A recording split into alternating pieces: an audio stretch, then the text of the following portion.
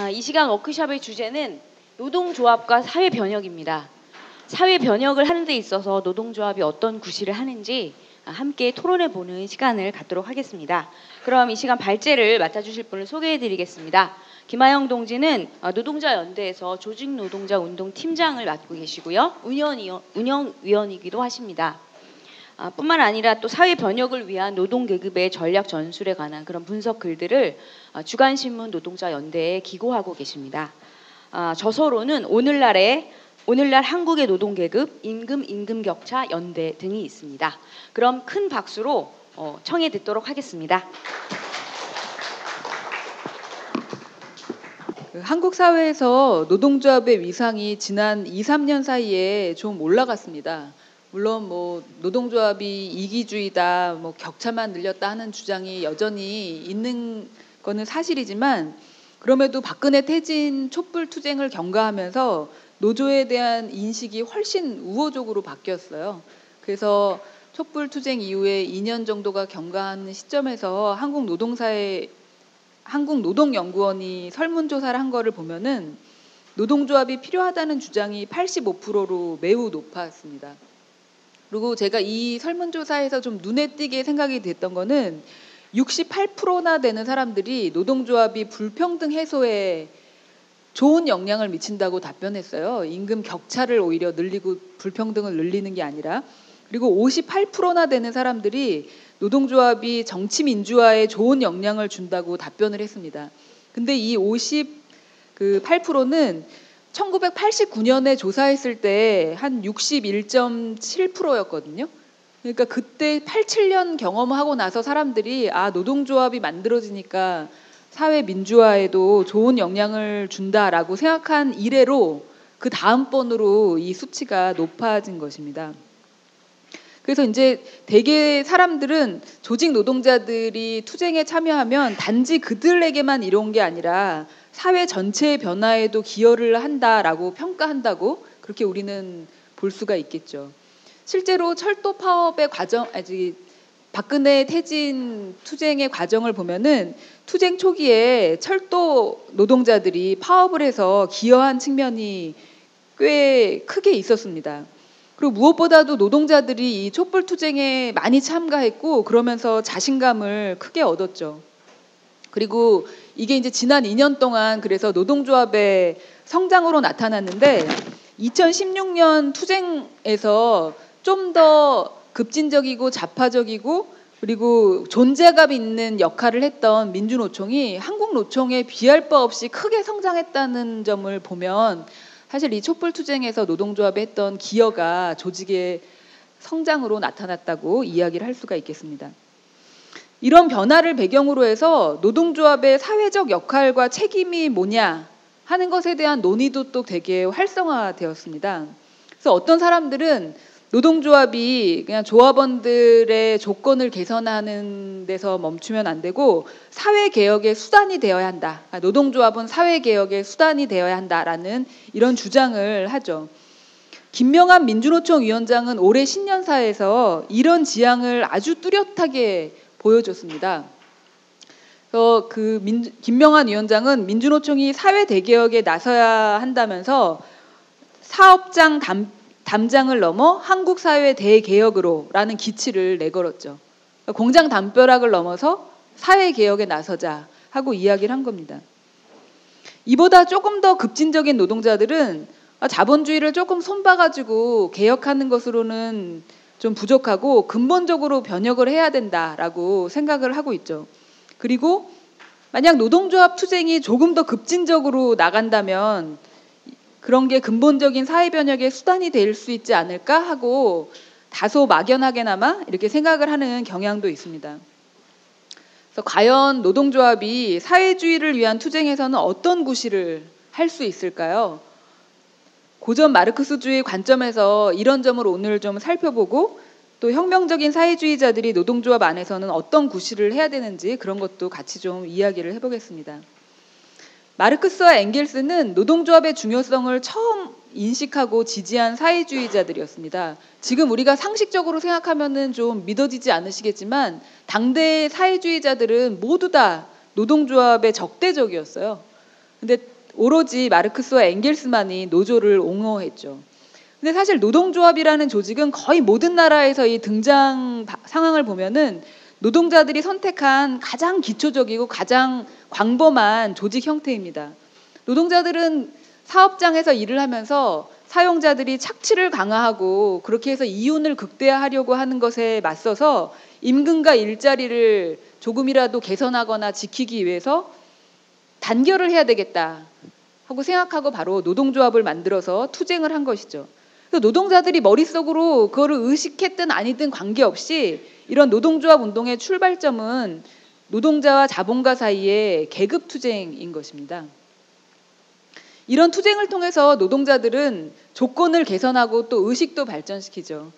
조건 개선이라는 측면에서는 우리나라 경험을 보면 정말 의심의 여지가 없습니다. 노동자들이 노동조합을 조직해서 몇 개월 동안이나 뭐 1, 2년 투쟁을 하면은 비슷한 동종 업종의 노동자들보다 조직되어 있는 노동자들의 조건이 훨씬 더 좋아진다는 것을 그들은 경험을 통해서 알고 있죠. 바로 이런 점 때문에 노조가 좀 공격을 당하는 측면도 있는 것인데요. 그래서 일부 급진적인 활동가들은 노동조합 투쟁을 집단 이기주의다 막 이런 식으로 생각하면서 경시하는 경향도 있고 또 어떤 급진적인 활동가들은 노조가 투쟁을 통해서 얻어낸 양보는 기업주들이 노동자들을 매수하기 위해서 준 뇌물이고 그거를 통해 가지고 이 노동자들은 특권층이 된다 이렇게 생각을 합니다. 이런 생각은 개혁주의에 대한 아주 초자파적인 태도를 낳게 되겠죠. 그리고 이런 것은 명백히 잘못된 태도입니다. 마르크스는 오히려 노동자 계급의 이익은 다른 그 사람들을 위해서 다른 민중을 위해서 자제해야 되는 것이 아니라 오히려 더 추구를 해야 된다고 그렇게 생각을 했습니다. 사회주의는 노동계급의 자기 해방이지 자기 희생은 아니거든요. 자기 희생이나 이타주의 같은 것이 결코 아닙니다. 오히려 노동계급이 스스로를 위해서 투쟁을 하고 자본주의에 맞설 때 인류의 필요도 충족될 수가 있다고 마르크스는 생각을 했습니다. 그리고 특히 마르크스가 노동조합을 통한 투쟁을 중요하게 생각했던 것은 노동자들이 이런 과정에서 일상적으로 투쟁하면서 자신을 훈련한다고 생각을 했기 때문이에요. 그래서 마르크스는 이렇게 말했는데요. 노동조합의 투쟁 성과보다, 그러니까 즉, 뭐 요구를 얼마나 성취하느냐, 이런 것보다도 더 중요한 것은 투쟁 과정에서 노동자들이 임금 노동과 자본의 지배를 극복할 주체로 조직된다는 점이다. 이렇게 투쟁을 통해서 훈련돼 나간다는 것을 중요하게 봤다는 것입니다. 그러나 마르크스가 노동조합에 무비판적이거나 그것만으로는 충분하다. 이렇게 결코 생각하지 않았다는 점도 우리는 알아야 됩니다. 마르크스는 노조가 착취를 없애려고 싸우지는 않고 착취의 결과에만 맞서서 싸운다고 비판을 했고요. 또 노조 지도자들이 협상의 목을 내면서 자본가들에게 포섭 때 가고 있다 이런 비판도 했어요. 특히 뭐 차티즘 운동이라든 신노조 운동 같은 것을 통해서 노동조합 투쟁이 막 활성화되었던 그런 시기가 가라앉으면서 노동조합 지도자들이 온건화되는 모습을 보고 그 노동조합 지도자들이 막 시장을 쫓아가서 정치 지도자들을 만나고 막 이러는 것을 보면 도대체 누구한테 신뢰를 얻으려고 하는 거지? 노동자들한테 신뢰를 얻고 싶은 거야? 아니면 저 정치인들한테 신뢰를 얻고 싶은 거야? 하는 그런 비판 같은 것을 했었죠. 이처럼 노동조합은 중요하지만 근본적인 한계가 있다는 것을 우리가 알아야 됩니다. 두 가지 한계에 대해서 이야기를 하겠는데요. 하나는 노동조합이 노동계급 전체가 아니라 한 부분만의 조직이라는 점입니다. 그래서 아무리 큰 산별노조, 뭐 산별노조 막 통합 같은 것을 추진하곤 하는데 아무리 큰 산별노조라든지 특별한 업종만이 아니라 일반 노조를 조직하겠다 해서 그 아무리 큰 일반 노조를 조직한다 하더라도 노동계급 전체를 단결시킬 수는 없다는 것입니다. 두 번째는 노동조합이 자본주의를 분쇄하고 노동자 권력을 장악하기 위한 그런 조직이 아니라 일단 자본주의라는 현존 질서 안에서 노동자들의 조건을 개선하기 위한 조직이라는 점 이런 거를 우리가 분명하게 알아야 됩니다. 그리고 이런 노동조합의 성격 때문에 일단 노조가 교섭 대상으로 인정을 받고 안착이 될수록 개혁주의적인 성격이 훨씬 두드러지죠. 특히 노조에서 협상을 전담하게 되는 그런 상근 간부층이 생겨나게 되는데 노조가 안착이 되면 바로 이들이 노조의 노조 안에서 보수적인 층을 형성, 형성을 하게 됩니다.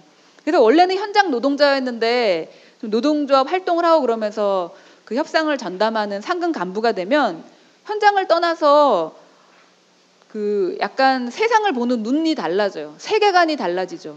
아, 그래서 현장 노동자들이 막 이거저거 요구하는 게 막 어린애 같은 그 불평이라고 생각이 들고 철없이 노동자들 생각만 해서는 안 되고 경제 상황이나 기업 같은 것도 전체적으로 고려하는 그런 눈을 가져야지 하는 이런 방식으로 노동자들을 대하게 됩니다. 그리고 또 개혁주의 노조 지도자들은 노동조합은 경제 투쟁을 하고 더 광범한 정치 투쟁은 의회를 중심으로 한 그런 활동을 통해서 해야 된다고 생각하는 경향이 있고요. 그리고 또 노동자들의 경제적인 이익이 중요하긴 하지만 계급의 계급 전체를 생각하니까 사회 전체를 생각하는 좀 더 광범한 국민적 이익, 민중의 이익 같은 것에 노동자들 스스로 이익을 종속시킬 줄도 알아야 된다. 이렇게 생각하는 경향이 생겨납니다. 제가 이런 설명을 하니, 하면 이렇게 여기 계신 분들 가운데서는 이런 의문을 가지실 수도 있습니다. 제가 아까 좀 전에 소개했을 때 민주노총 김명환 위원장은 사업장 담장을 넘어 사회 대개혁으로라는 그런 기치를 내세웠다고 하지 않았냐. 그럼 이거는 노동조합이 부문주의라고 하는데 노동조합 부문주의를 넘어서 정치 투쟁하자는 것 아니냐라고 그 의문을 갖게 되실 수도 있습니다. 이에 대해서 잠깐 좀 이야기를 해보겠는데요. 일단 사업장 담장을 넘자 이런 얘기는 좋은 얘기라고 할 수 있습니다. 많은 활동가들이 사업장 담장 안의 문제에만 관심을 기울이는 경우가 참 많은 게 사실이에요. 그래서 이런 경우에는 이제 조합원들의 부문적인 이익에만 막 관심을 가지다 보면은 시야가 너무 협소해져 가지고 그 시야가 협소해진 나머지 사기 저하도 금방 됩니다. 자기네 사업장 자체에서 투쟁이 벌어지지 않으면 사업장 담벼락 바깥에서 막 투쟁이 벌어져도 전혀 거기에 대해서 알지도 못하고 영향을 받지 못하죠. 그래서 사업장 담장을 넘자는 거는 일단 좋은 일인데 그래서 사업장 담장을 넘어서 어디로 가느냐가 이제 중요하겠죠. 만약 사업장 담장을 넘어서 경사노위로 간다면 어떻게 될까요? 사업장 담장을 넘어서 일자리위원회, 민간정협의회, 국회 정책협의회, 뭐 기업 이사실 같은데 간다면 그런다면은 어떻게 될까? 그런데 김명한 집행부는 실제로 이런 곳에 가서 민주노총이 조합원만의 이익이 아니라 미조직 자영업자 중소영세기업을 또 대변을 해야 된다고 이렇게 이야기를 하고 있습니다. 그런데 이런 논리는 민중의 이익, 국민의 이익을 위해서 노동자들이 양보를 해야 된다는 것으로 이어지기 쉽죠. 1998년 노사정위에 참가했던 민주노총 일기 지도부가 바로 그랬는데 당시에 이제 IMF를 불러일으킨 경제공황 상황에서 이 지도자들은 재벌 개혁 같은 사회 개혁을 위해서 노동자들은 정리해고제 같은 그런 노동 계약을 받아들이겠다라는 것을 수용을 했습니다. 그 경제 위기 극복을 위해서 고통을 분담한다는 그런 취지였죠. 이런 게 이제 하나의 사례 입니다. 이렇게 나타난다는 거죠. 제가 생각했을 땐 올해 최저임금이 역대 최저치로 결정된 것도 저는 사실 이런 사례라고 생각을 합니다. 노동조합 지도자들이 최저임금 그만 올리라는 자영업자들의 아우성을 고려했을 거라고 저는 생각을 하는 거죠. 그래서 이런 논리대로라면은 그들이 말했을 때 가장 열악한 노동자들의 임금만은 지켜야 된다. 오히려 정규직 노동자들이 자신들의 조건은 그 뒤로 약간 제쳐주고 이걸 위해서 헌신해야 된다라고 얘기했던 바로 그 가장 열악한 노동자들의 경제적인 이익마저도 이런 논리 속에서는 지키지 못한다는 것을 오히려 보여준다는 것입니다. 그리고 개혁주의 노조 지도자들이 추구하는 정치는 노동조합 지도자들이 노동자들을 대리해서 뭐 사회적 대화기구에 간다든지 국가 그 기, 구 부문 뭐 국가위원회 같은데 지금 민주노총이 그런 위원회 다 50개나 들어가고 있거든요. 그런데 가서 대변해야 된다든지 아니면 조건에 대해서 정치 세력화를 할 수 있다면 의회로 가서 대변해야 된다든지 이렇게 하는 것입니다. 그래서 그들의 관심은 노동자들의 경제 투쟁과 정치 투쟁을 결합시키는 데 있지 않아요.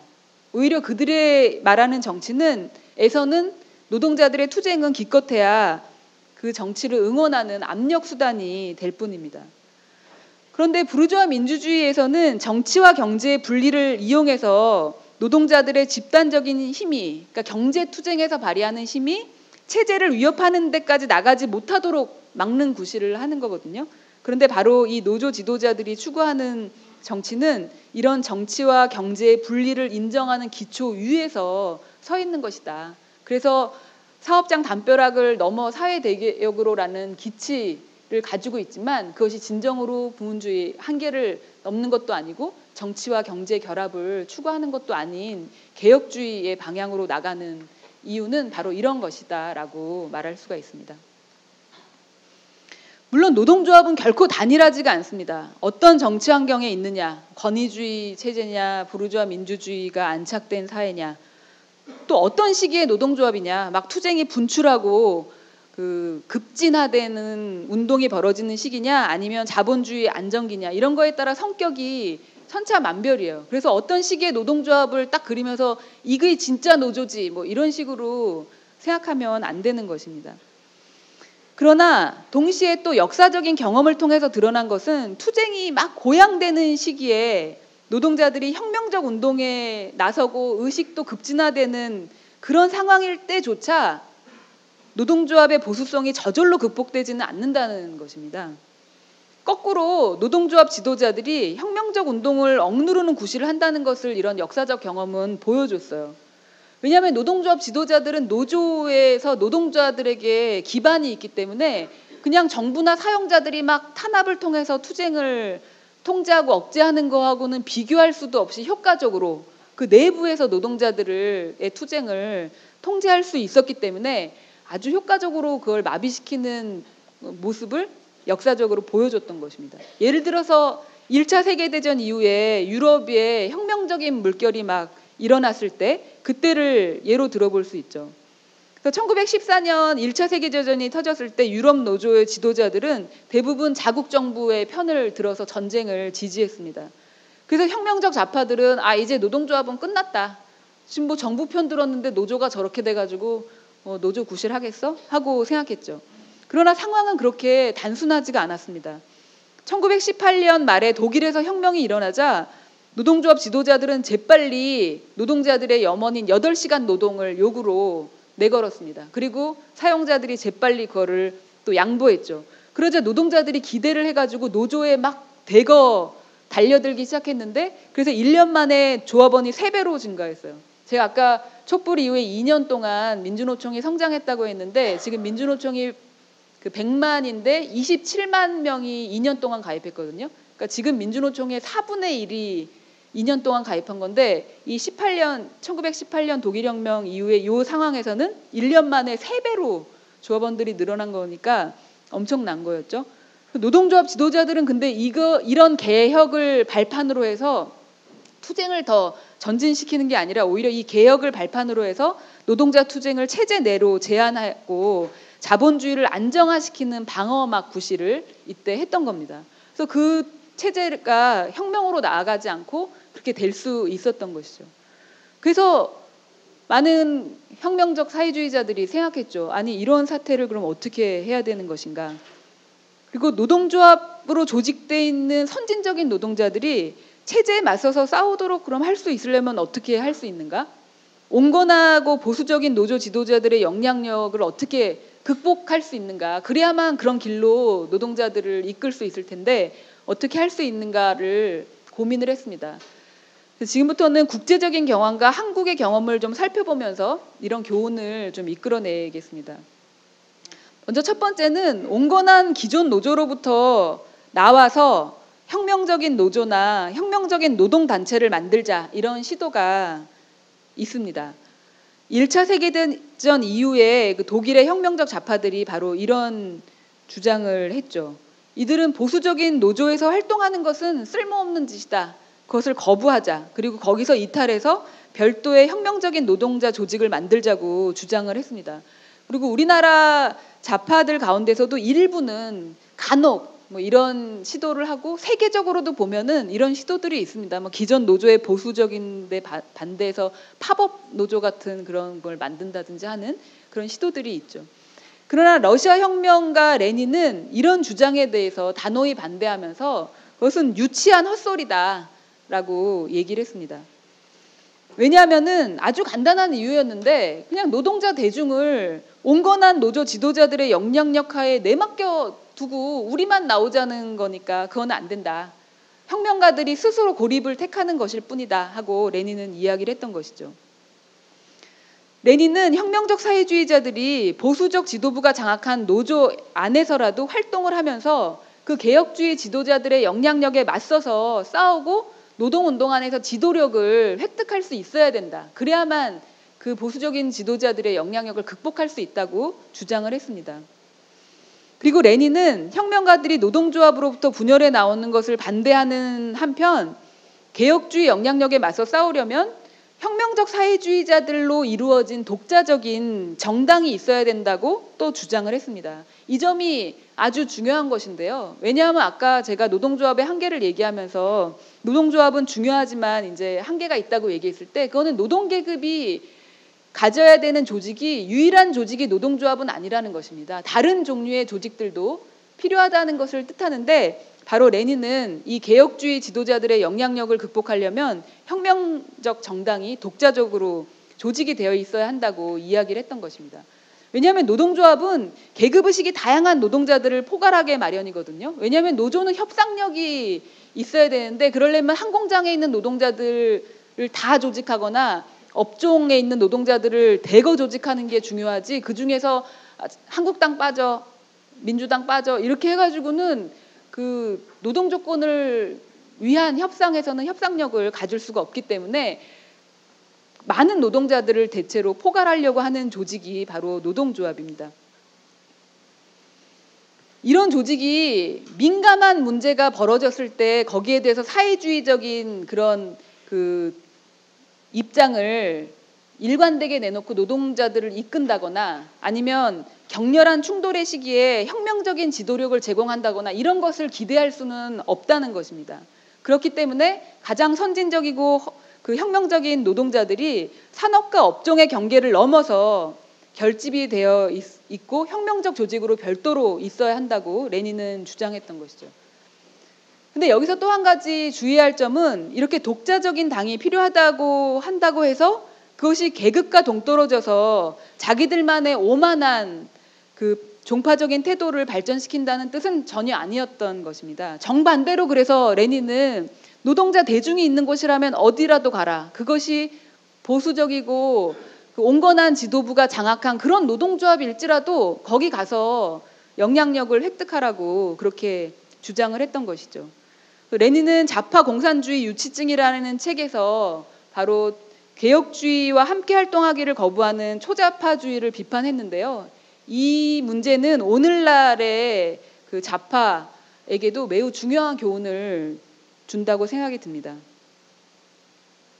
우리나라 노동운동 안에도 이런 초자파적인 태도를 취하면서 그 개혁주의자들과 함께, 함께 활동하기를 거부하는 그런 경향이 있기 때문입니다. 두 번째는 노동조합 지도부의 개혁주의에 반대해서 생산 현장의 직접 행동을 강화하려는 그런 시도가 있었습니다. 1900년대 초반 한 20년 동안 유럽과 미국에서 예, 막 성장했던 그 신디칼리즘이 대표적이죠. 그리고 우리나라에서는 1980년대 후반에 나타난 전투적 노동조합주의가 있는데 이게 바로 이런 신디칼리즘의 약간 완화된 형태라고 이야기를 할 수가 있습니다. 전투적 노동조합주의라는 것은 노동조합을 전투적으로 만들자는 정신 또는 그런 것을 지향하는 조직이라고 이야기를 할 수 있는데 지금도 이런 것은 뭐 완화된 형태로 자파 활동가들에게 영향을 미치고 있죠. 그래서 그 원형인 신디칼리즘의 경험이 어떤 것이고 그 한계가 있다면 무엇인가를 우리가 보, 살펴보는 것은 큰 도움이 됩니다. 신디칼리스트들은 전투적 산업 행동을 매우 중시했어요. 그들은 개혁주의 지도자들이 노동자들을 대변한다면서 의회에 가가지고 의회에 의존하고 대, 정부랑 대화와 협상에 몰두하고 하는 것에 대해서 아주 맹렬하게 그 비판하면서 노동자들 자신의 행동을 아주 중시했던 그런 사람들이었습니다.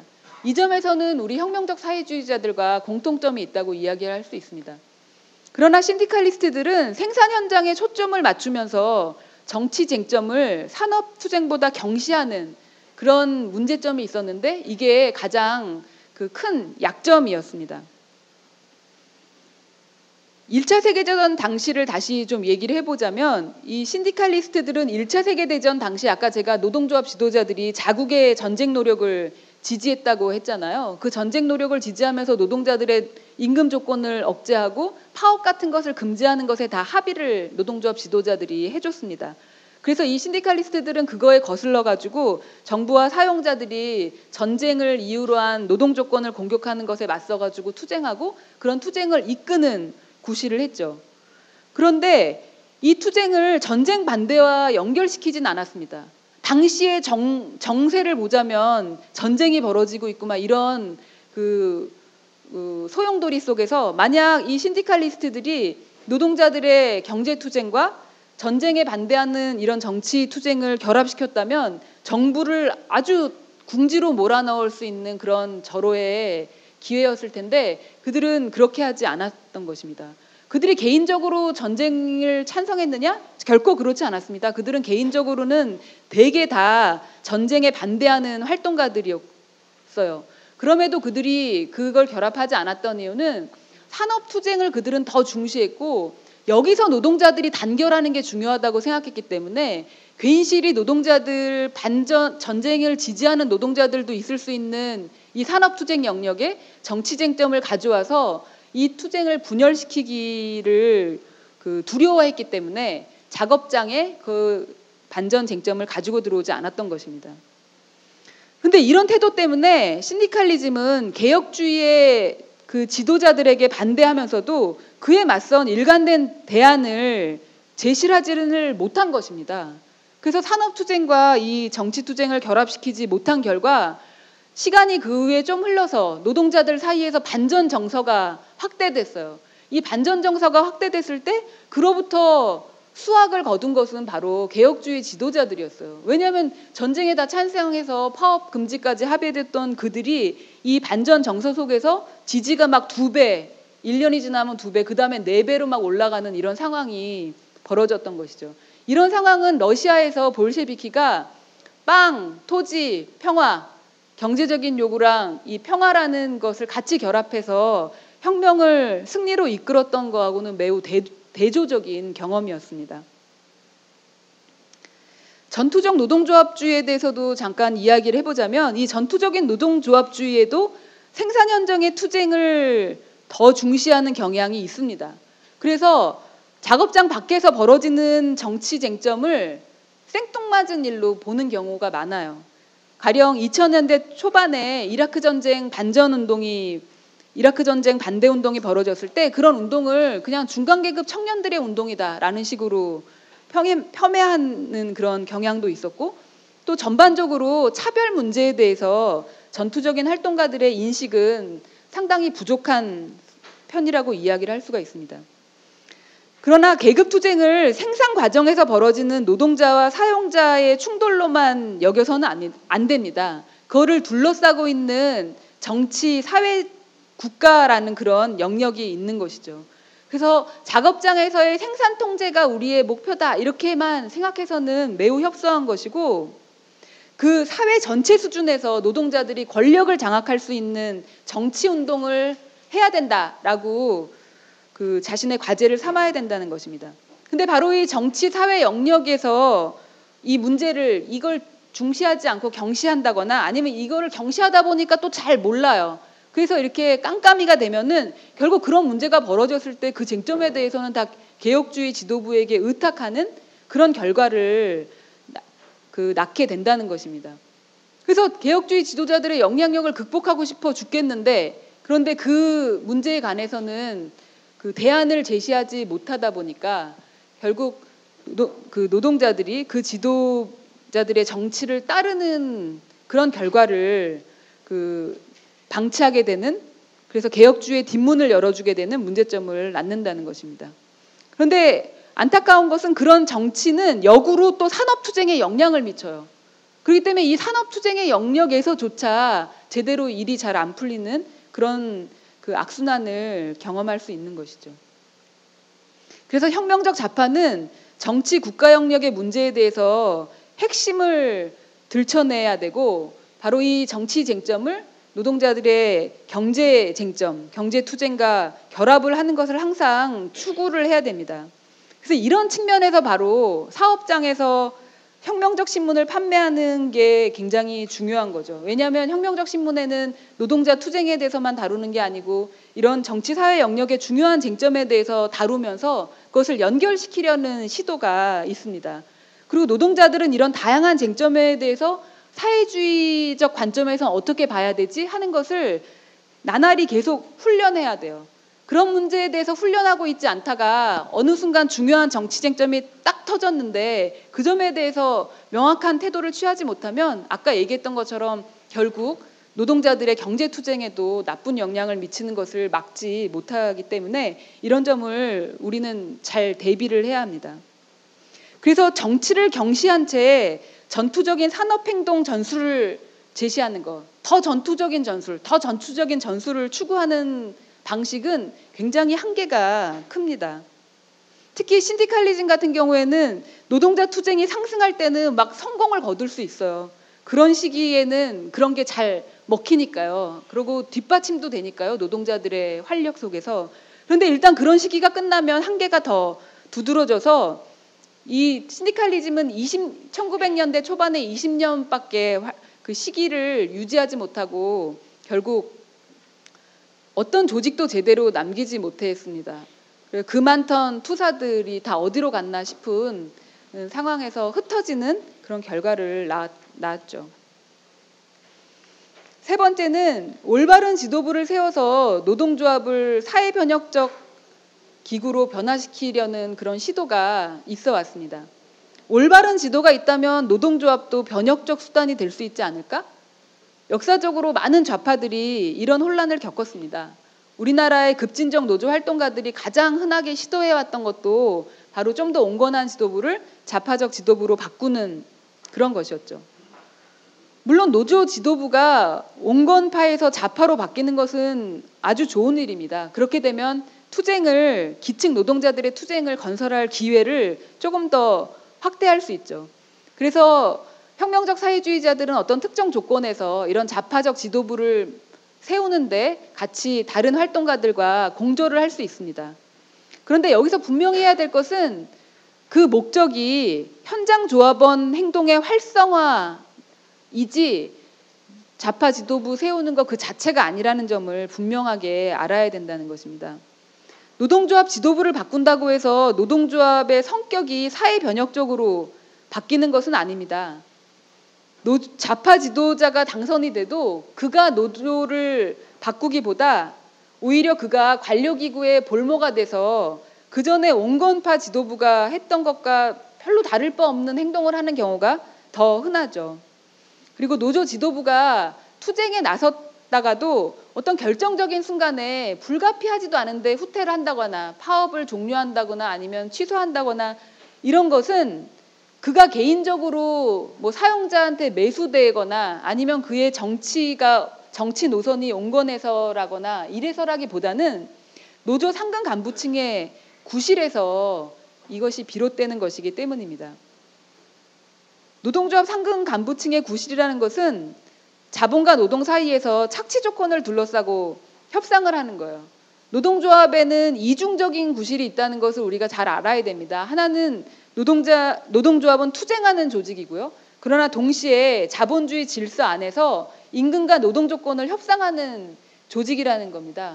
이 이중적인 면 가운데서 어느 한 면만 보려고 해서는 안 됩니다. 그래서 노조 안에는 더는 현장에서 일하지 않고 사측 정부와 중재를 전문으로 하는 사람들이 생겨나는데 바로 이런 그들의 역할 때문에 이 상근 간부층은 현장 조합원들과 이해관계가 다르게 됩니다. 그리고 자파노조 지도자들도 여기서 결코 예외가 아니라는 거죠. 그래서 그 온건하냐 좌파냐 지도자들 사이 이 차이보다는 노동조합 상근 간부층과 현장 조합원 사이의 차이가 훨씬 크다는 것을 이해해야 됩니다. 그래서 노동조합 내 우리 자파 활동가들은 자파 지도부 세우기 자체를 목적으로 삼기보다는 현장 조합원들의 자주적 행동을 고무하는데 주안점을 두어야 됩니다. 결국 노동조합 투쟁이 어디까지 갈 수 있느냐 하는 것은 이 현장 조합원들의 자신감과 활력에 달려있기 때문이에요. 그러지 않고 자파 노조 지도부가 중요하다. 그가 잘하게 하는 게 중요하다. 이렇게 생각을 하면은 그 자파 지도부 자체를 목적으로 삼게 되고요. 그렇게 되면은 조합원 그 자파 활동가들이 집행권을 장악하고 그거를 유지하기 위해서 자꾸 무원칙한 타협을 일삼게 되거나 자파 지도부가 어떤 문제점을 일으키고 있는데도 그거를 자꾸 두둔하느라고 오히려 현장 노동자들의 투쟁을 마비시키는 그 잘못된 효과를 내게 됩니다. 이런 경험을 우리나라 그 활동가들 사이에서 많이 볼 수가 있습니다. 오늘날 노동조합에 관해서 사회주의자들이 노동조합 안에서 어떻게 활동하고 그 전술을 어떻게 해야 되느냐를 생각할 때 이 상근 간부층의 문제에 대한 인식이 매우 중요해요. 이거를 이해하거나 이해하지 못하고 건너뛴다면 그것을 제대로 할 수가 없습니다. 이 문제에 대한 인식 부족으로 생각, 생겨나는 또 하나의 헛된 시도는 노동조합의 이념을 바꾸거나 대한 노조 모델을 도입하면 노조의 한계를 극복할 수 있다고 생각하는 것입니다. 뭐 사회 변혁적 노동조합, 뭐 사회 운동적 노동조합, 지역 사회 노동조합 이런 게 그런 사례라고 할 수 있는데요.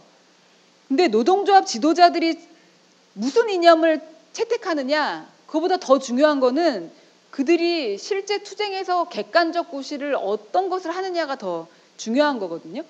그래서 사회운동 노조나 지역사회 노조주의 같은 것을 채택한 유럽의 노동조합 같은 사례를 보더라도 이념은 좋은데 일단 그 지도자들이 불가피하지 않은데도 파업을 유보하거나 투쟁을 종료시키거나 노동자들을 배신하는 그런 일이 기존 온건 노조하고 똑같이 벌어지고 있다는 거예요. 근데 이런 대한노조 모델을 제시하는 그 자파 활동가들은 오히려 현장 조합원들의 변질 내지는 타락에 초점을 맞추는 경향이 있고 노동조합 그 자체가 갖는 부문주의 이런 게 문제다. 노동조합 지도 상근 관료층 이런 게 문제라기보다는 이렇게 생각하는 경향이 있어서 오히려 노동조합 상근 간부가 어떤 이념을 도입하느냐에 열쇠 해결이 해결의 열쇠가 거기 있다고 착각하는 경향이 있습니다. 좀 다소 엘리트주의적인 그런 발상이죠. 그래서 사회운동적 노조주의를 지향하는 자파 활동가들이 노조 혁신에 성공하지는 못하고 오히려 유사한 문제의식을 가진 듯한 그런 노조 지도자들과 협력하면서 스스로 노동조합이 받는 개혁주의 압력에 포로가 되어온 경험이 있는데 이런 과정은 참 안타까운 일이라고 이야기를 할 수가 있습니다. 이제 좀 요약을 해보겠습니다. 제가 얘기한 거를 하나하나 좀 짚어보면서 정리하는 취지로만 요약을 해볼 텐데요. 혁명적 사회주의자들은 노동자들의 일상 투쟁 조직으로서 노동조합을 중요하게 여기고 그 안에서 활동을 해야 됩니다. 그러나 동시에 노동조합의 한계도 인식을 해야죠. 특히 여기서 중요한 것은 노동조합 상근 간부층의 구실을 아는 것입니다. 이런 노동조합 지도자들에 대해서 가장 좋은 태도는 그들이 올바른 방향으로 나간다면 그들과 그들을 지지하고 그들이 동요하거나 조합원들을 배신할 때는 맞서 싸우겠다 하는 것입니다. 그런데 물론 이것이 어느 정도 가느냐 하냐는 세력 관계에 따라 다양하기 때문에 그런 가능한 수준 조건에 따라서 우리가 여러 전술을 사용할 수 있어야 될 것입니다. 또 근본적인 사회 변혁을 위해서는 노동조합만으로는 충분하지 않다는 것을 분명하게 알아야 됩니다. 혁명 정당이 필요하다는 것이죠. 그리고 이 혁명 정당이 기층에서 탄탄하게 조직돼 있어야 개혁주에 맞서서 효과적으로 싸울 수 있습니다. 우리나라의 많은 급진적인 노동조합 활동가들은 노동조합만으로 충분하다라고 생각하면서 독자적인 혁명 정당을 건설하려는 노력을 오랫동안 하지 않아 왔습니다. 87년 이래로도 30년이 흐른 현재 상황에서 자파 급진적인 좌파 활동가들의 단단한 조직이 어느 정도 구축이 되어 있는가를 우리가 돌아본다면 이런 문제점을 잘 알 수 있습니다. 그래서 좌파들은 노동조합 안에 용해되어 있는 경우가 많이 있었습니다. 그리고 어느 순간 아우 정치도 중요하네라는 것을 발견했을 때는 이번에는 현장과 거리를 두는 정치로 나아가는 경향이 있었죠. 이 둘 다 대안이 아닙니다. 그래서 제가 오늘 살펴본 고전 마르크스주의 분석과 역사적 경험으로부터 우리는 배우고 그것을 실천을 해나갈 수 있어야 될 것입니다.